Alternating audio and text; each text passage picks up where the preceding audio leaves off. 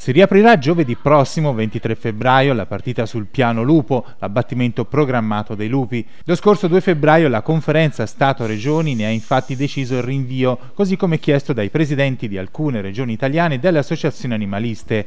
Il rinvio dell'abbattimento dei lupi era stato chiesto per studiare possibili alternative.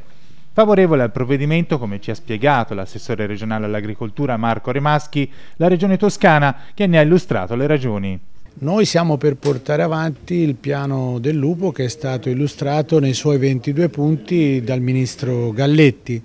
Eh, come Toscana abbiamo un problema vero, un problema che riguarda tanti allevatori che con eh, fatica eh, riescono a mantenere le proprie attività su territori difficili come quelli collinari e montani della Toscana e che nel corso degli ultimi anni hanno subito e stanno subendo gravi danni, voglio dire, predazioni e greggi importanti che provocano chiaramente dei riflessi economici negativi per le aziende.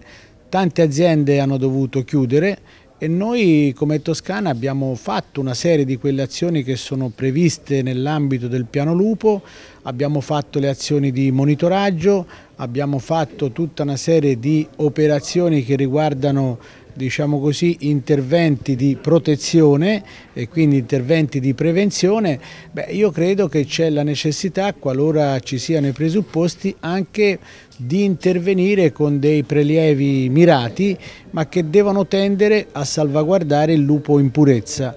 Purtroppo dei 108 gruppi che sono censiti a livello regionale, oltre 1000 esemplari, eh, diciamo con una percentuale piuttosto alta, stimata intorno al 40%, sono ibridi e quindi sono addirittura più aggressivi, eh, sono addirittura più predisposti ad avvicinarsi anche ai centri abitati e producono danni importanti.